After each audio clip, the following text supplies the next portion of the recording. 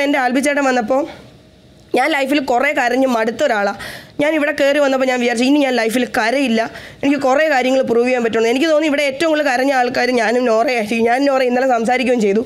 അത് എത്ര പേര് കണ്ടിട്ടുണ്ട്? ഞാൻ ചില മാറിയിരുന്ന കാര്യം കരുതുന്നത് ഇവിടെ വന്നപ്പോൾ എന്റെ ആൽബിച്ചേട്ടൻ എന്നെ ഇത്രയും വർഷം അറിയുന്ന ആൽബിച്ചേട്ടൻ എന്റെ അടുത്ത് ആദ്യം വന്ന് പറഞ്ഞൊരു കാര്യം എന്ന് വെച്ചാൽ കരയരുത്. നീ എന്തിനാണ് കരയുന്നത് നീ പറയുന്ന കാര്യത്തിൽ നിനക്ക് ഉറപ്പുണ്ടെങ്കിൽ നീ കരയരുത്. നീ കോൺഫിഡൻസ് ആയിരിക്കണം. അപ്പോൾ ഞാൻ തലയായിട്ട് സമ്മതിച്ചു. സത്യം പറഞ്ഞാൽ ഞാൻ ആ ഓക്കെ എന്ന് പറഞ്ഞു. സത്യസന്ധമായിട്ട് പറയും എന്റെ മനസ്സിൽ ഞാൻ ആൽബിച്ചേട്ടന്റെ അടുത്ത് പറഞ്ഞില്ലെങ്കിൽ പോലും എന്റെ മനസ്സിൽ തോന്നിനുമോ ഞാൻ ഇനിയും കരയും. കാരണം എനിക്ക് കരയായിരിക്കാൻ പറ്റില്ല. എനിക്ക് കരച്ചിൽ വന്നാൽ ഞാൻ കരയും. എനിക്ക് കരഞ്ഞേ പറ്റൂ ദേഷ്യം വന്നാൽ ഞാൻ ദേഷ്യപ്പെടും എന്ന് ഞാൻ എന്റെ മനസ്സിൽ പറഞ്ഞു ഞാൻ പുറത്ത് പറഞ്ഞില്ല.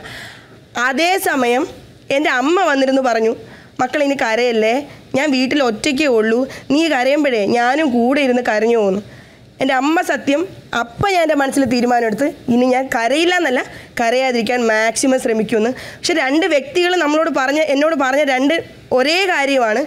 പക്ഷേ എനിക്ക് അമ്മ പറഞ്ഞപ്പം കുറച്ചും കൂടെ എന്താ പറയുക സത്യസന്ധമായിട്ട് പറയുന്ന പോലെ തോന്നുന്നു. ഒരു ഗെയിമർ എന്ന രീതിയിലല്ല അമ്മ എന്റെ അടുത്ത് പറഞ്ഞത്.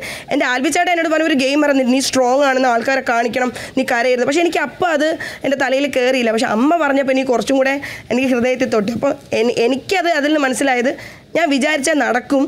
എനിക്ക് ഞാനിപ്പോൾ കൺട്രോൾ ചെയ്യാൻ ശ്രമിക്കുന്നുണ്ട്. അത് എത്രത്തോളം സക്സസ് ആകുമെന്ന് എനിക്കറിയില്ല. പിന്നെ ഭക്ഷണത്തിന്റെ കാര്യം ഇപ്പോൾ ആൾക്കാർക്ക് അങ്ങനെ ഒരു തെറ്റിദ്ധാരണ ഉണ്ടെങ്കിൽ ഭക്ഷണം നമുക്ക് പുറത്തുനിന്ന് വരും നമുക്ക് കിട്ടും തന്നെ പുറത്തുനിന്ന് ഭക്ഷണം വരും. പക്ഷേ ഇവിടെ നമ്മൾ അനുഭവിക്കുന്നതെന്ന് വെച്ചാൽ ഉപ്പ്.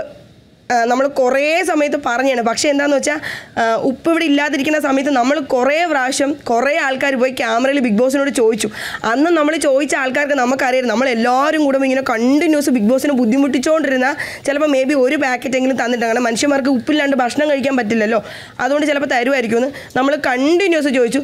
അതിൽ എന്നെ ഏറ്റവും കൂടുതൽ എനിക്ക് അത്ഭുതം തോന്നി എന്താ വെച്ചാൽ നമ്മുടെ പാരൻസ് വരുന്ന സമയത്ത് നമുക്ക് റേഷൻ ഉണ്ടായിരുന്നു. നമുക്കൊരു ഒരു വീക്കിൽ റേഷൻ ഉണ്ടാവും. ആ റേഷനിൽ നമ്മൾ ഏത് സാധനം ചൂസ് പിക്ക് ചെയ്യുന്നോ അത് മാത്രമേ നമുക്ക് ഒരാഴ്ച ഉപയോഗിക്കാൻ പറ്റുള്ളൂ.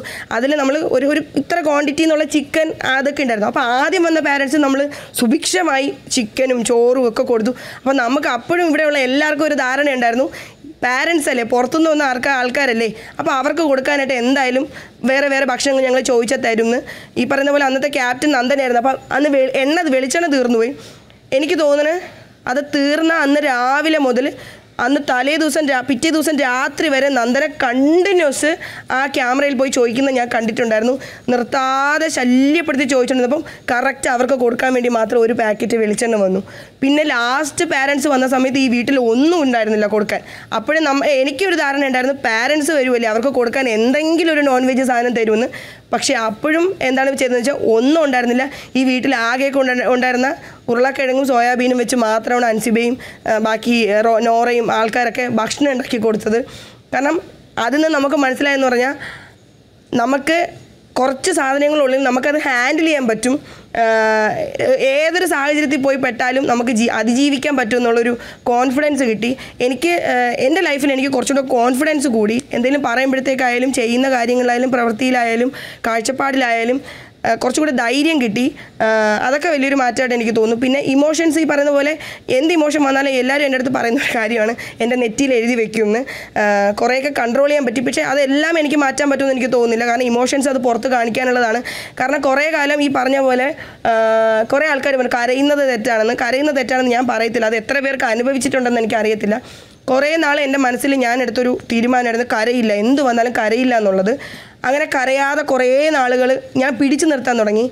ഏറ്റവും ലാസ്റ്റ് എനിക്ക് ഞാൻ ഒരു ഒരു ദിവസമെങ്കിലും ഒന്ന് കരയാൻ പറ്റിയെന്ന് ആഗ്രഹിച്ചിട്ടുണ്ട്. എനിക്ക് കണ്ണീര് വരാത്തൊരു അവസ്ഥയുണ്ടായിരുന്നു പക്ഷെ ഞാൻ എല്ലാവരോടും പറയുന്നത് നിങ്ങൾക്ക് കരയാൻ തോന്നുമ്പോൾ നിങ്ങൾ കരയണം ചിരിക്കാൻ തോന്നുമ്പോൾ ചിരിക്കണം ദേഷ്യപ്പെടാം. അതൊക്കെ മനുഷ്യ സഹജമായിട്ടുള്ള കാര്യമാണ്. അത് നമ്മൾ ചെയ്യണം. ചെയ്യാണ്ടിരിക്കുമ്പോഴാണ് പ്രശ്നം.